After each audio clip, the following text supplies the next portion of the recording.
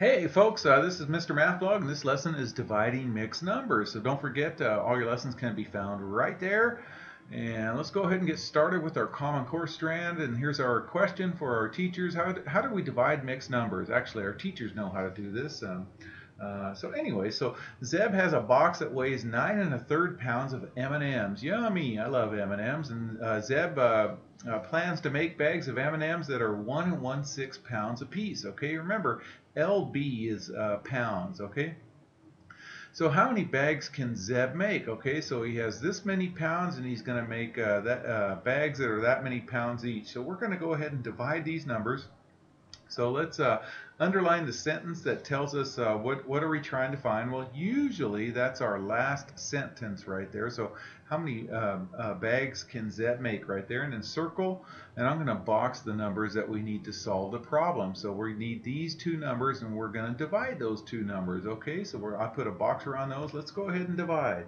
All right, it's always good to estimate, you guys. So think of compatible numbers that these are close to that's easy to divide by. So this can be close to 9, and this can be close to 1, and 9 divided by 1 is going to be 1 right there. So if we get an answer close to 1, like or close to 9, sorry, like uh, 8 or 10, something, or even 11 or 12 or 7, something that's close to this number, then we can uh, think that our answer is a reasonable answer. All right, let's uh, uh, write those mixed numbers as fractions right here. Okay, so 9 and 1 third. Okay, so 3 times 9 is 27. 27 plus 1 is 28. So that's what goes right here is 28 right there. Okay, and then 6 times 1 is 6 plus, um, uh, 1 is 7. So we're going to put a 7 right there. Do you remember doing that?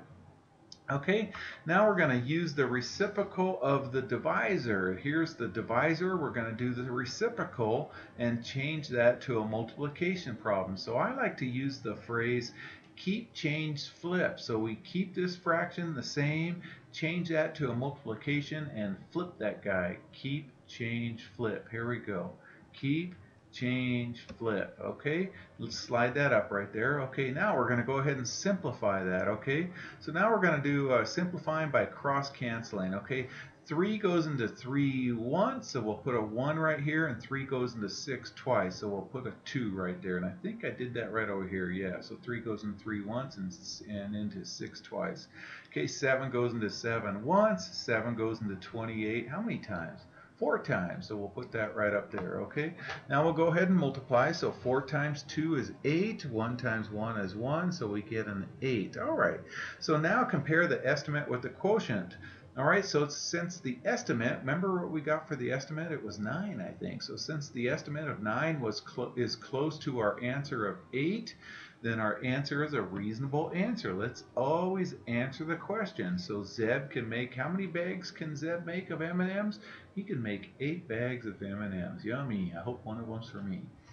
All right, so let's try this. Let's uh, first estimate and then write the quotient in simplest form. Okay, so first, before we um, uh, before we start dividing, we got to write the mixed numbers as fractions. So let's go ahead and estimate right here. So think of uh, nice numbers that we can round these guys to. So I'll take this to 2, and this is 1 sixth, I guess. And over here, we'll take this to 6, and I don't know, this is close to 1 half because 4 over 8 is 1 half. So we'll round this to 1 half right there, okay? All right, so 2 divided by 6, okay? So how many 1 6 goes into 2 right there, okay? So um, it's going to be 12 right there. And then over here, we'll round this to 6, and we'll round this guy to 1 half right here. So how many 1 halves go into 6? Well, that's also 12. So now, um, uh, so both of these are going to be an estimate of 12 right here. So as long as we get answers that uh, is close to 12, we should be good. Okay, let's write uh, the mixed numbers as fractions. Okay, so uh, 3 times 2 is 6. 6 plus 1 is 7. Okay, uh, I, I, don't know if I did that one here. So five, uh, 4 times 5 is 20. 20 plus 3 is 23. Yeah, I think I did on both of those right there. Okay, so now we're going to keep, change, flip. So there's the keep part right there. So keep these fractions the same. Now this is going to be a multiply. So keep, change, and then now we flip those guys. Okay, now I'll do this one separately over here. So 3 goes into 3 once, into 6 two times, and then we're left with 7 times 2.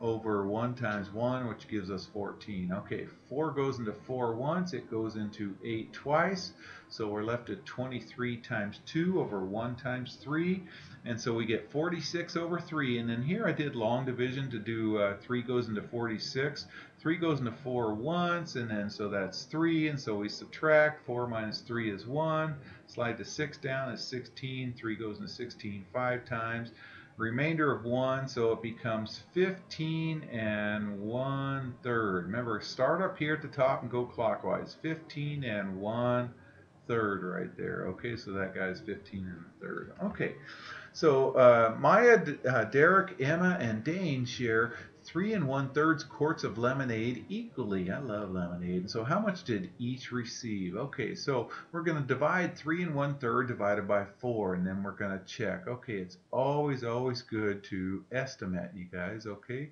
And then so so um, uh, this kind of gives us a hint here. So what number divided by 4 equals 1? Well, I know this is closer to 3 than it is to 4, but to get a compatible number with this 4 right here, let's change that 3 and a third to 4. So as long as we get uh, uh, an answer that's close to this one, we should be good, okay? So write the mixed numbers uh, uh, uh and the whole number as fractions, okay? So so 3 and a third, here we are right here. 3 times 3 is 9. 9 plus 1 is, is 10. So this is going to be 10 thirds. And this is just 4 over 1 right there. Okay, there we go. And then now we're going to um, uh, use the reciprocal of the divisor. So that's where we do the keep, change, flip. So we're going to keep this the same right there. Okay, and then we're going to change the division to multiplication and then flip. So it becomes 1 fourth. And now we simplify and we cross cancel. Uh, 2 goes into 4 twice. 2 goes into 10 5 times. Okay, so I have that over here. 10 divided by 2 is 5. 4 divided by 2 is 2. And then now we multiply. Okay, so 5 times 1. 5 times 1 is 5. 3 times 2 is 6. All right, so let's check, you guys. So we're going to take this uh, um, uh, divisor right here, and we're going to multiply it times our answer, which is our quotient. So we're going to put the 5 6 in here. And so if we multiply it by 5 6, it should give us this 3 and 1 third right there. Okay, so it'll probably give us this 10 thirds right there. Okay, so 4 times 5, 6. We're going to go ahead and multiply. I did that right here. So 2 goes into, into uh, 4 twice, and 2 goes into 6 three times. So 2 times 5 is 10. 1 times 3 is um, uh, 3 right there, and, and uh, that's what gives us uh, 10 thirds, which we got uh, 3 and a third right there. So it gives us 3 and a third, so our answer is correct. So each person will receive uh, 5 6 of a quart right there. Okay, so explain why our answer is reasonable using the information in the problem. Okay, well, uh, 3 and a fourth was close to a 4, so four kids uh, shared about 4 quarts, and so 4 divided by 4 was 1. And since our answer was 5 6 was close to 1, then the answer was a reasonable answer right there. Okay, let's answer a few more questions. So describe what we were trying to find in that last example. Well, that was the lemonade one right there. So how much lemonade was in each of the four groups. So explain how to divide um, uh, mixed number, uh, how dividing mixed numbers is similar to multiplying mixed numbers and how they're different. Well, it's similar because in both cases we write the mixed numbers as fractions and and uh, where it's different is um, uh, when we divide we rewrite the the problem as a multiplication problem and we do that keep change flip part right there all right, so the last part is uh, the divisor is a division problem. Uh, the divisor in the division problem, sorry, is if it's between 0 and 1 uh, and the dividend is greater than 0, uh, will the quotient be, will the answer, the quotient is the answer, be greater than or less than the dividend? And explain. Okay, we've answered this over and over again. It's always going to be greater than. As long as our divisor is uh, between 0 and 1, like a fraction, I'll give you an example in just a second. Uh, because the divisor between 0 and 1, uh, the dividend will contain more groups uh, the size of the divisor than it will contain in groups of one. And you're thinking, what? What does that mean? Well, here's an example right here. Here's where the divisor is between 0 and 1. 1 half is a nice example. And 6 divided by 1 half is 12. And so here, here is the dividend right here and the quotient. The quotient is going to be bigger than dividend when this divisor is between 0 and 1. Okay? Numbers always make it a lot easier. All right, you guys.